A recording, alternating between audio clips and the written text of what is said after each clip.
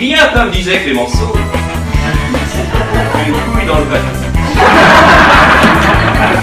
Et vous osez me faire perdre mon temps pour ça À moi qui l'ai mangé, votre chameau, monsieur le président.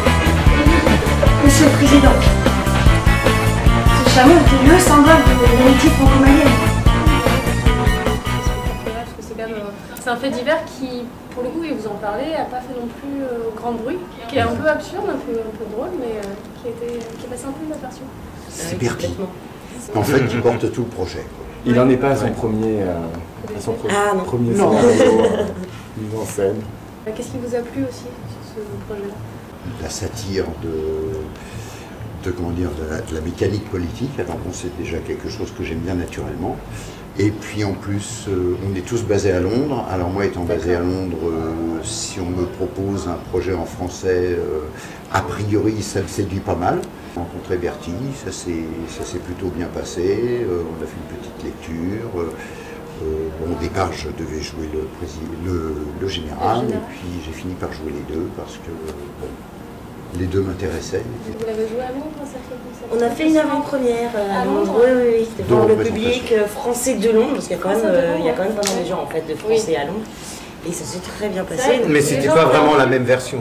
C'était Ça, oui, ça a une version évolué. bêta. ça a évolué. les gens, les gens là-bas avaient entendu parler aussi de cette, de cette histoire-là Non, Pas du non, tout. non. Ce qu'il y a d'intéressant, C'est fort. quand on donne les flyers dans la rue, Oui. Les euh, les gens euh, disent Ah ouais, d'accord. Euh. On leur dit non, mais c'est écrit hein, d'après une histoire vraie. Ouais. Ouais, ouais, ouais, c'est totalement loufoque en fait. Oui. ouais.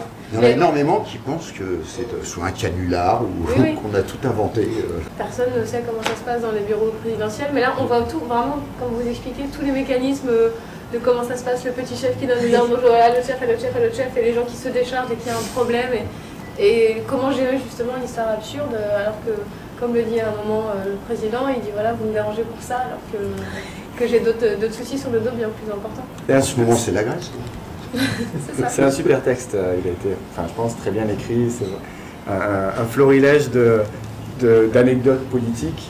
En fait, Oui. c'est pas, c'est c'est un texte apolitique, mais euh, qui parle beaucoup de, De de petites anecdotes en fait, qui sont mises ensemble, euh, nous donne un texte qui est vraiment sympa à jouer.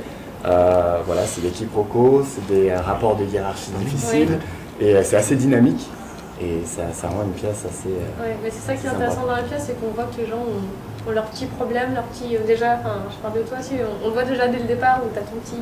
T'as ton organisation, ton truc, faut pas te déranger, il y a une stagiaire qui arrive, tu vois, les messieurs sont tous euh, charmés par, par cette nouvelle venue. Du moment qu'il y, a- qu'il y a une nouvelle dans les parages. euh, hein. Ben, c'est un monde d'hommes, donc c'est vrai que c'est Ouais. pas difficile d'imaginer quand une Ouais. petite stagiaire euh, arrive, euh, comment ça doit se passer. Oui, bon, après, euh, pas forcément tout le temps, mais c'est vrai, qu'on, c'est vrai que c'est un monde d'hommes et je pense que pour les femmes, ça Ouais. être difficile quand même. Mais c'est ça qui est intéressant, c'est qu'il y a vraiment une histoire dans une histoire. Il y a l'histoire du chameau volé et Ouais. l'histoire de comment ça se passe dans un cabinet avec euh, les relations, ouais. et surtout quand on est une femme, enfin, comme tu le disais, euh, Ouais, ouais, ouais. dans un cabinet, donc c'est pas évident. Non, exactement. Moi, je sais que c'est quelque chose qui m'a beaucoup, euh, beaucoup plu à la base. Euh, J'avais un peu peur au départ avec euh, comment ça pouvait se passer, parce que c'est vrai que. euh, Ouais, ouais, ouais. Et puis en plus, bon, moi, je suis une comédienne qui est assez féministe, donc j'avais un Oui. petit peu peur de ce que ça pourrait donner ou quoi. Mais justement, en fait, je me suis aperçue que finalement, c'est assez féministe, quoi, en fait. Oui. Parce que finalement, c'est, euh, elle a pas mal de solutions aux problèmes, tout ça et tout. Et puis, bon, sait elle, qui euh, résout un peu le problème. Voilà, non, exactement. En fait, c'est eux, c'est eux qui, qui se rendent ridicules, c'est pas elle. On voit beaucoup de vidéos, enfin, d'images d'archives, de textes, de- d'articles de, presse. Que ça crédibilise le propos Mm. en fait, et on voit vraiment que pas Ouais. c'était pas une farce et que Mais euh, bah, tu sais qu'il y, a un- il y a un passage euh, à la fin que je ne nommerai pas, mais qui est écrit sur les. oui, on va pas tout dire. Voilà. Et moi, c'est lors de l'avant, enfin pas de l'avant-première, parce qu'évidemment on l'a vu avant, où Bertie nous a montré, euh, montré cette, cette vidéo. Et là, je me suis rendu compte de, de- de vraiment de tout ce qu'il avait, de- du travail qu'il avait fait pour euh, les faits, les faits réels, ce qui n'était pas Mhm. réel, tout ça. Il y avait des choses, je savais pas du tout que c'était vrai, et où j'ai eu la surprise de voir, ah non, mais ça, ça a paru dans le journal, quoi.